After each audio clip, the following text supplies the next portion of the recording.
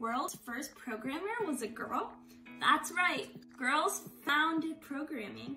So today we're going to be hearing the story of the first programmer ever, Ada Lovelace, and we'll do our own programming activity together. Let's get to it. Who was Ada Lovelace? Well, as I just said, she was the world's first programmer, and she had a pretty unique childhood for the time that she was growing up. Her father was a poet and her mother was a mathematician. And as a child, she was really interested in machines. Her mom helped encourage her to study mathematics. And this understanding of mathematics that she had really helped her get interested in logic and engineering later on in life. When she was 28, she published a translation of an Italian engineer's article, and she added in a lot of her own notes about the article. In her notes, she speculated that the engine might act upon other things besides number. The engine might compose complexity or extent. With that very line, Ada started a revolutionary idea that machines could manipulate symbols in accordance with certain rules to represent really complex ideas. And also that numbers can represent more than just a quantity. This idea marked the fundamental change that machines could do more than just calculations, but they could also do computation. And so with this very sentence, she invented coding. Unfortunately, Ada died when she was pretty young, just 36, because she had cancer. However, her ideas went on to change the world. Ada's discoveries later became fundamental in the development of the first ever computer by Alan Turing in the 1940s. Now let's do some coding of our own together. Today we are going to be animating letters with code.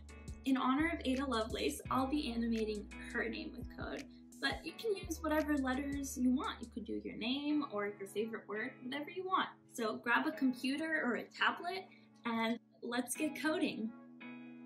First, pick a background for the animation.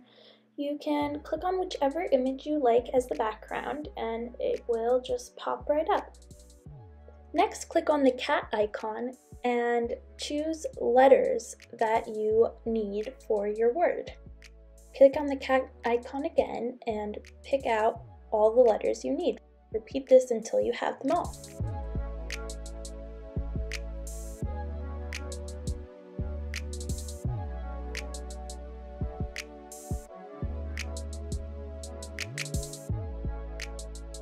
Adjust the placement of each letter by simply clicking on the letter and dragging.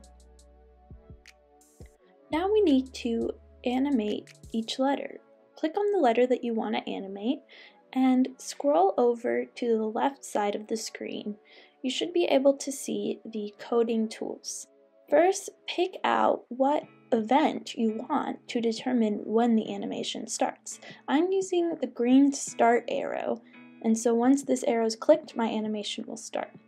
Now to animate each letter, click on the motion buttons, which are the blue buttons, to pick out what type of motion you want each letter to have. I'm using a right rotation. You can click on the text to change the angle of the rotation. If you scroll down to the orange control buttons, you can also click on repeat. Simply put the repeat on the outer part and then put your blue motion button on the inner part and then pick out how many times you want the motion to repeat itself. You can test this to see if it works by pushing your green start button. Now we'll repeat this animation for every single letter that we want to animate. So click on the next letter you want to animate and repeat it for all the letters.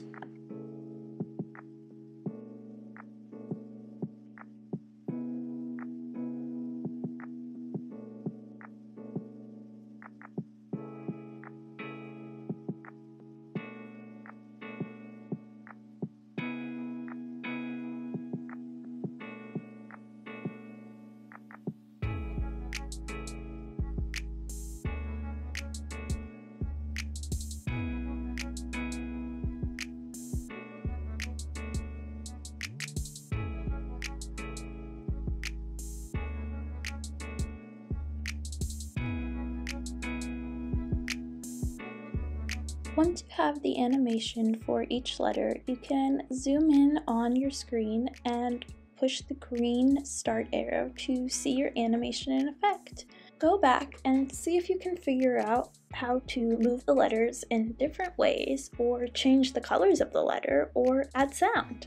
This activity, we just did computer science and you were all programmers today. Don't ever let anyone tell you what you can or cannot do. Coding is such a huge part of today's modern world. And just like Ada Lovelace, you can and will do something revolutionary. And you all are brilliant. Thank you so much for joining me today, and be sure to like and subscribe for more awesome STEM activities. Bye!